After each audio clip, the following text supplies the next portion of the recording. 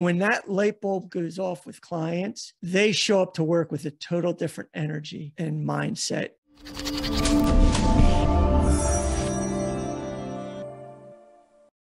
Why do we have to experience pain to find growth? So let me clarify there's actually pain or suffering and joy are the two things that can create growth and transformation. Why? Because they're only things strong enough to get your ego out of the way, to literally punch that judge and those saboteurs back where you say, This isn't working for me. I can't do it. Because the ego and that limbic system is so strong, that's what you need. Get it out of the way. And me as an endurance athlete and you know these stories. When your brain quits, your body still has way more. So yeah, great suffering and great joy can be the touchstone of all growth to get you to that next level because it's not happening to you, it's happening for you. We are creatures of habit, and the brain likes to do that because it likes to put things on automatic pilot so it doesn't have to think about it. That's energy. If this is not giving you the result you wanted, what are you going to do about it? If that's not what you want, what do you want? Now, this is a very important point.